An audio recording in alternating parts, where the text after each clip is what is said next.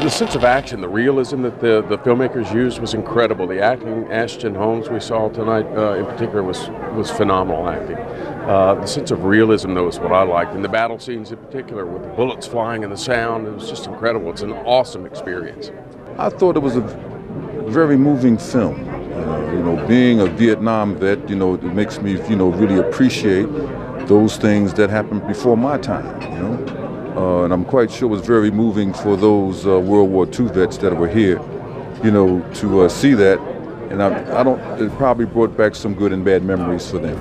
I thought the movie was excellent. Uh, I became a Marine in the Vietnam era because of what these guys did to save our country.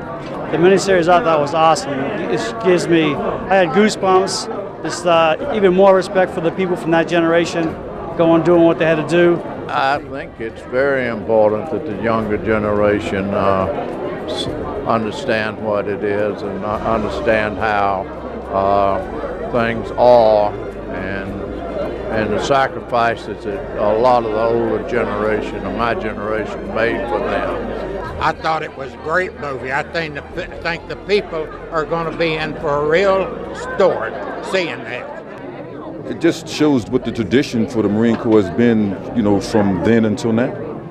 And I think that the young warriors today will can really appreciate, you know, the uh, the performance of the Marine Corps in the past. It really, uh, this movie opened my eyes in a sense that it gave me time to reflect back, seeing that uh, the contributions and sacrifices that Marines from way back when made, and uh, it just really touches to know that the Marine Corps has not changed in their ethos. You know, honor, courage, commitment lived on back then, it still lives on today. And uh, it gave me great joy to have a chance to witness firsthand of, uh, and shake hands with some of the guys that were on Iwo Jima, Guadalcanal, and those battles. I think, if anything, the Pacific campaign has been ignored. A lot of people know about D Day and the European uh, campaign, but not a lot of people understand what happened in the Pacific.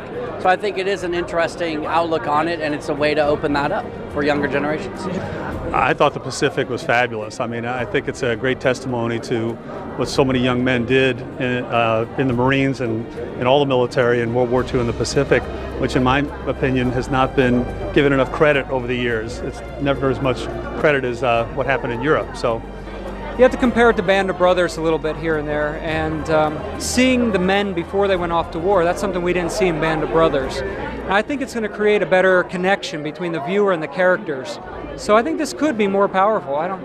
It's hard to say. It's going to be as good, and if it does the same service for the Marines that it did for the paratroopers, it's all good. I, I really do, do hope it opens up a, uh, a dialogue of some kind, or at least some kind of a sense of of what kind of sacrifice these guys did go through. Band of Brothers, my son, it's uh, one of his, his favorite things and uh, you know he didn't know anything about World War II. So, um, so I think this will do the very same thing. I think this will hopefully open some eyes, get some people interested, and maybe deal and uh, see what it's really all about. It's not a glorious thing. It's a uh, it's an incredibly uh, hard thing for these young guys to go through.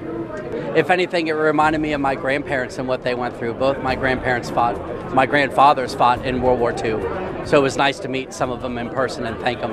I thought The Pacific was amazing. I think it's such an important series, especially for younger generations of Americans. Um, we don't appreciate the, the blessings we have in this country, and I think this is going to be a real eye opener, especially for younger Americans. Um, I walk away with a lot more respect for the greatest generation and the Marine Corps because you see the dirtiness of that war. That's what uh, this, this series shows. It shows the grime, shows the nastiness. A lot of Hollywood war movies where most of us get our history, most of us form our opinions, they're sanitized, they're clean, it's just Rambo stuff.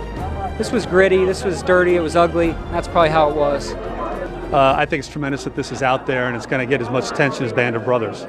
What I most learned tonight was the personalization of it. I think to see the personal experiences of, of Sid Phillips, for example, in the film was uh, uh, just to get an understanding of his feelings and what he thought and what he felt as he went through combat. Uh, it was a remarkable experience for them, but it was conveyed in the uh, in the film for us as viewers. Yes, I am looking forward to, to watching it on Comcast on demand and, and actually going to the uh, local channels and, and getting deeper into uh, the behind the scenes stuff as well. March 14th, it debuts on HBO. I cannot wait for that. And, uh, and I too, I'll be buying the, uh, the DVDs when they come out. Absolutely.